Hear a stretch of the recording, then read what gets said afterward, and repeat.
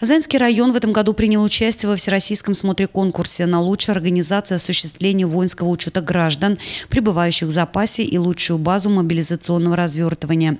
Экзамен Заинский военный комиссариат сдал московским специалистам, представителям Центральной конкурсной комиссии Министерства обороны Российской Федерации из Главного организационно-мобилизационного управления Генерального штаба Вооруженных сил России. По итогам прошлого года Заинский район вместе с Нижнекамским и Тукаевским районами – вошел в тройку лучших на аналогичном республиканском конкурсе и в этом году был выдвинут Татарстаном для участия во всероссийском смотре.